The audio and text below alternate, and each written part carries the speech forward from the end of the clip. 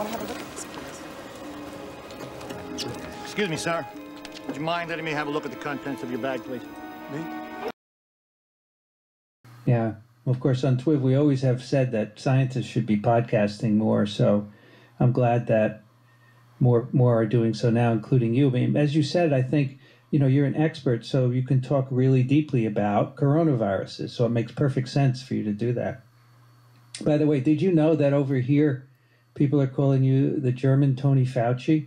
We don't have time for this. Excuse me.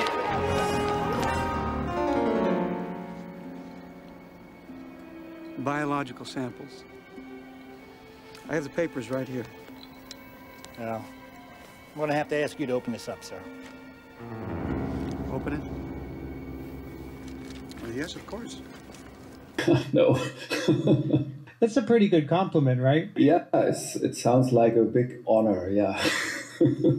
Yeah, but uh, I don't think you. I mean, I've heard you you advise uh, your chancellor, right? But you don't have uh, the same kind of uh, duties as Tony does in Germany, right? I'm not that close to politics, and in fact, I mean, even though I sometimes speak to them, Yeah. that I'm in uh, in the ministries every day, and uh, I don't know. See? Biological. Check the papers. It's all proper. There's a permit.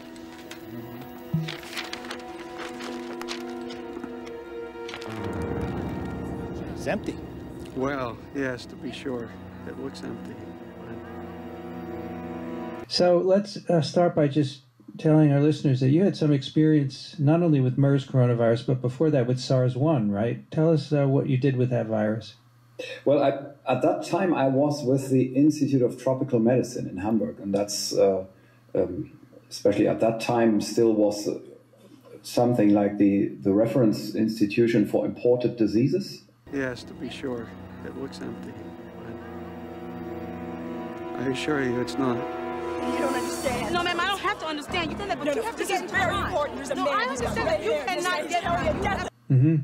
So there was an imported disease, which was um, a traveler coming back from actually from New York um, to Frankfurt. Um, he wanted to go back to Singapore, but uh, so for for refilling, um, refueling, they at that uh, that time they did a stopover in Frankfurt and they took him off the flight because uh, authorities had informed I don't know Frankfurt authorities that there is a SARS patient on board at home in Singapore, and he, he took a, a short excursion to New York City.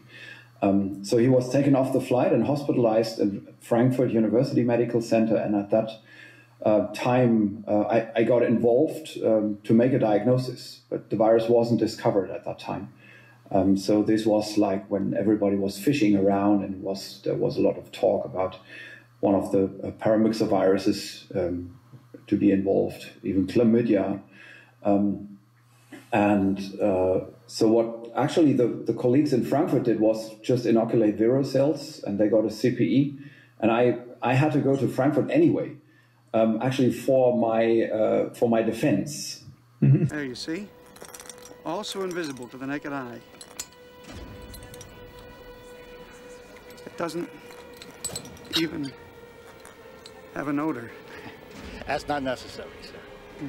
There you go. Thank you for your cooperation. Have a good flight.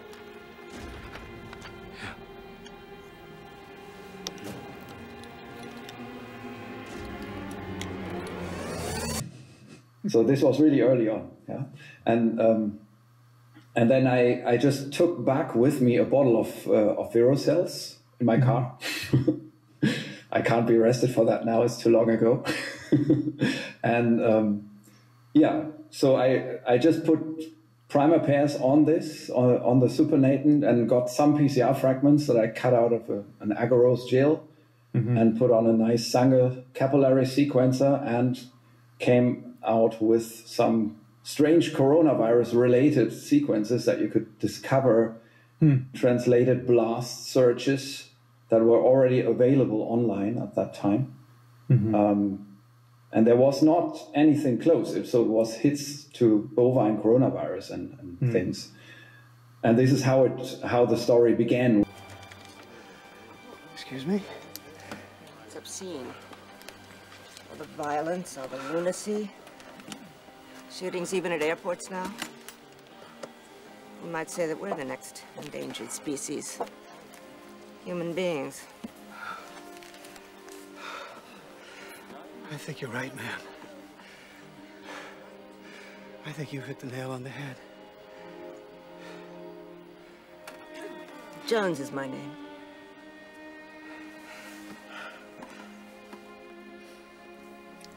I'm in insurance.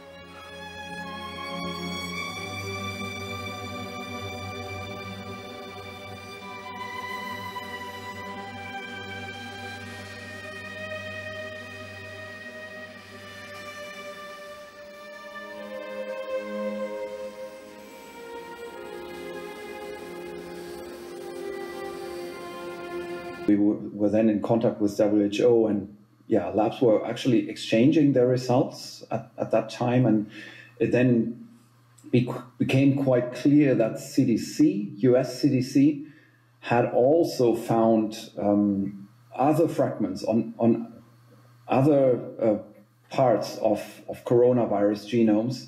And we exchanged these fragments, and then suddenly things started to make sense because labs could then make long range PCRs based on each other's random fragments that they found. Um, and it, it turned out these patients uh, who, that were, who were actually only indirectly linked epidemiologically, they had the same virus. And this was at a time when we still hadn't heard officially from China, right, about the outbreak? Yeah, yeah, of course. Nobody knew it. Uh, well,